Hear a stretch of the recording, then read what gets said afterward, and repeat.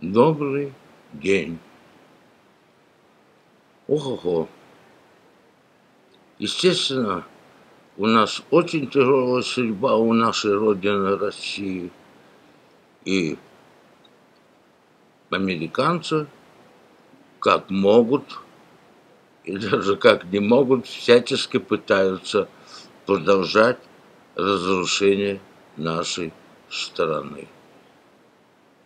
Это, если просто... У меня есть статьи об этом, и о Ленине, который уничтожили царизм, вывезли золото все в Америку через Швейцарию и устроили гражданскую войну и проигрыш Первую мировую, Вторую мировую войну.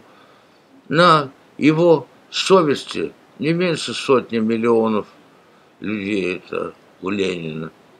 Так что нужно его отправлять куда подальше. Нечего ему делать на нашей территории. Не хотите, как хотите. Все равно это придется сделать. Вот так-то.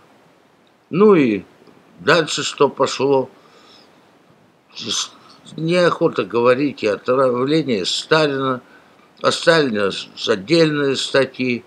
Значит, он интересная личность, необычная тоже нужно будет еще пописать на эту тему, поговорить. Ну, и в конечном счете, вот и Брежнева с Щазовым, который его посадил на феназепам и сделал овощью. Значит, это и шпионы Андропов и Горбачев, где Андропов сделал все по указанию мирового правительства американцев, чтобы Горбачев захватил власть. Убрали Горбачева вовремя. Ну, а дальше американцы устроили Майдан, где подтянули для этого дела Лужкова. Этот жулик нуждался именно в таком руководителе, как Ельцин. Он его вычислил и был Майдан. Как он орал там на Майдане в пользу Лужку, эту Ельцина, Лужков орал. Я сам это слышал, сам это видел, и не хочу даже говорить об этом. И вот таким путем жулик нашел себе руководство, где можно было делать что угодно, абсолютно. И вот в этой статье, которую я рекомендую в заголовке, значит, и говорится был такой чудесный журналист в 90-е годы Доренко. И он, а журналистика тогда была действительно свободной, и Путин потом, который пришел в это время, 90-е, говорил за свободную журналистику. Он все прекрасно, это красиво и правдиво нарисовал. Советую послушать. И именно там сам Доренко выступает и говорит о том, что происходило в 90-е. Ну, а Ельцин, это понятно. Значит, американцы в Гарвардском протоколе в третьем томе, это Хьюстонский протокол по развалу России, говорилось, как переход должен быть в этот момент сделан в России, какого характера должен быть человек, который должен до конца разрушить коммунистическую партию и завершить развал СССР. Ну и они выбрали Ельцина. Нашли человека, подходящего по психологическим показателям для этой работы. Вот так и появился Ельцин и под, подзуженный народу подзудили, чтобы выбрали его. И сейчас уже те, когда думал, голосовал, сейчас все отказываются, что они голосовали за приход Ельцина. Ну, ясно почему.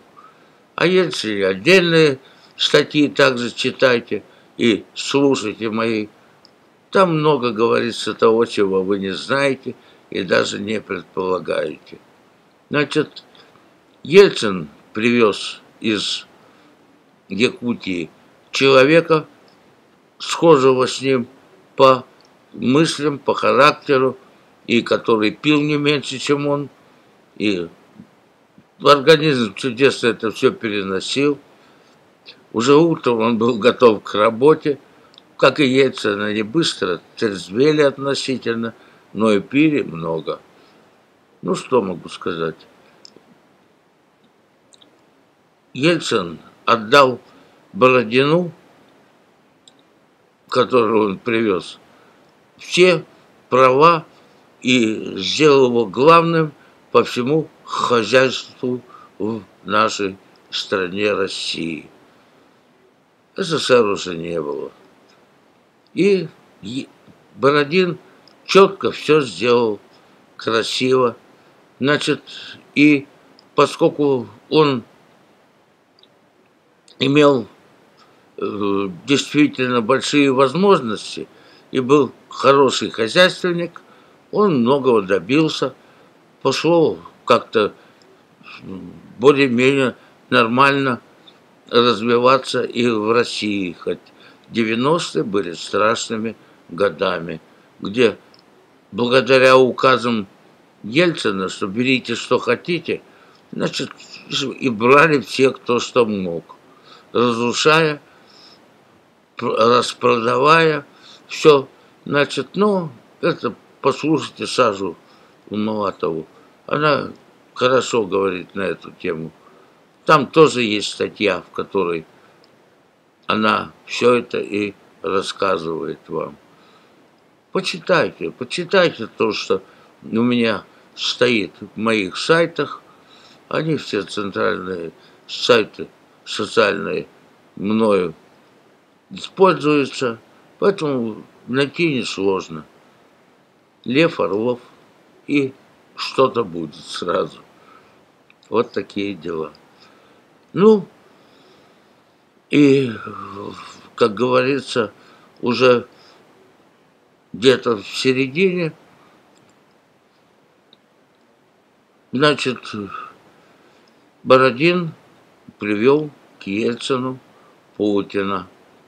И поскольку он не представлялся ему каким-то взрачной, сильной личностью, а Ельцин боялся сильных личностей, он его принял.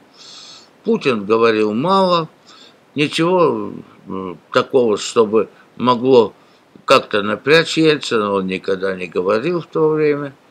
Поэтому он прижился, и в конечном счете он уже здесь, Доренко, показывает его как премьер-министр – это уже дальше некуда, это большая должность.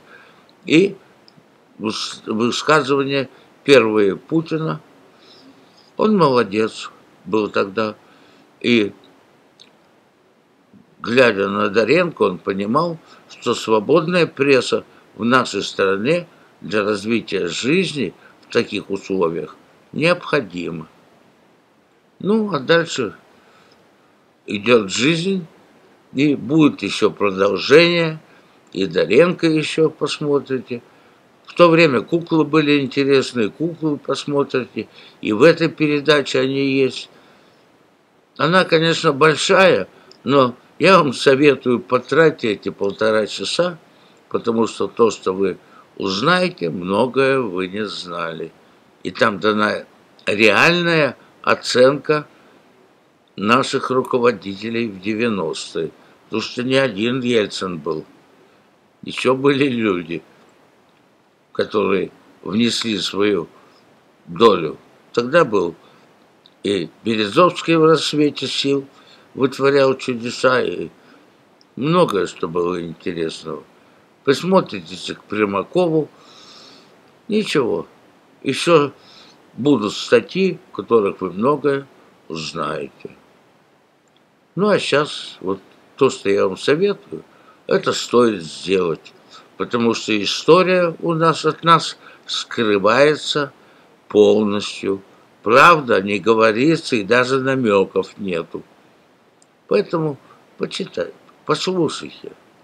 Здоровья вам! и Родина. Родина – самое дорогое, что у нас есть, и русские. Родина – это не шутка для русского человека. До свидания.